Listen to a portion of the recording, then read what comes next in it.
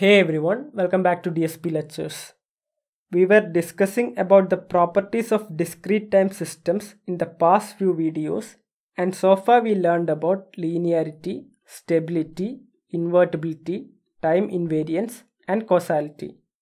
In this video, we will see the last property which is memory. We will see the definition first and then see some examples of systems with memory and without memory. So let's get started.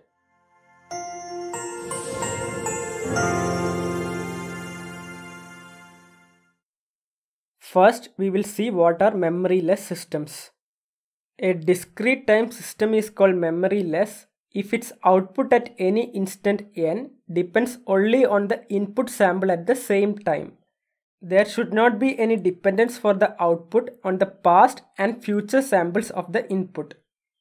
As an example, y of n equal to a into x of n is a memoryless system because the output at instance n depends only on the input x of n at the same instance n. Another memoryless system is y of n equal to n into x of n plus b into x cube n. Here also the output y of n depends only on the inputs at the same instance n. If you see both these systems, there is no need to store any past inputs or outputs in order to compute the present output. That is, no memory of the past inputs or outputs are required.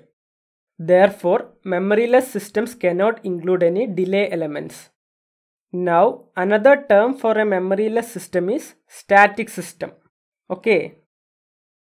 Coming to memory systems, the output at instance n is also determined by the past inputs. For instance, if the system output at time n is determined by the input samples in the interval from n minus capital N to n, then the system is said to have a memory of duration capital N. If capital N lies in the range of 0 less than capital N less than infinity, then the system is said to have a finite memory. However, if capital N extends all the way to infinity, then the system is said to have infinite memory. Now, another term for memory system is dynamic system. Okay, let us now see some example systems and see if they are static or dynamic systems. The first system we have is y of n equal to 2 plus sine of n minus 1 into x of n. As you can see, the output at instance n is determined only by the input x of n at the same instance n. The output is not dependent on any past values of input. So this is a memoryless system. Now some of you might have doubt that since we have sine of n minus 1, isn't that a past value of n? So isn't the output influenced by the past instance n minus 1? Well, that thought process is wrong. Here, sine of n minus 1 is just a coefficient and coefficients can take any values. Our focus should only be on the input term x of n and not on the coefficients. Okay. Now let us see the second example.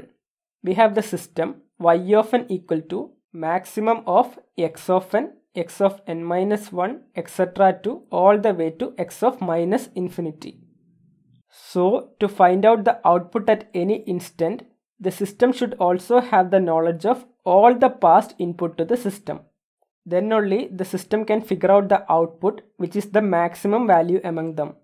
Therefore, as the system output depends on past values, this is a dynamic system.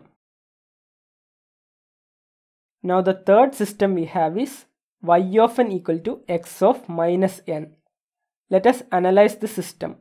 Setting n equal to 0, we have y of 0 equal to x of 0. So present output depends on present input here.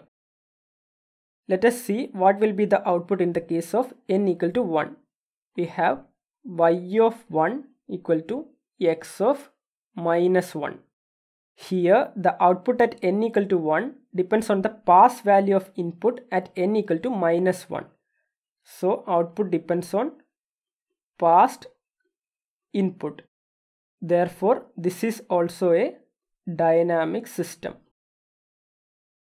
or in other words a memory system. Now I would like to give you a homework question. Check whether y of n equal to x of 2n is a static or dynamic system and comment the answers in the comment section. Now before ending, I would like to stress the point that for a given system to belong to a classification, it should possess a particular property and the property must hold true for every possible input signal to the system. If a property holds for the system in case of some input signals but not for the others, then the system does not possess that property. Thus, a counterexample is sufficient to prove that a system does not possess a property. However, to prove that the system has some property, we must prove that this property holds true for every possible input signal. Okay, that's all for this lecture. In the next video, we will see some solved examples based on all the properties of discrete time systems we have learned so far. If you have any doubts, feel free to ask them in the comments. Either me or some other viewer will surely help you out.